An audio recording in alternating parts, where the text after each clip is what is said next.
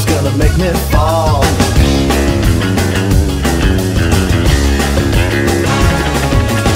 She's in new sensation.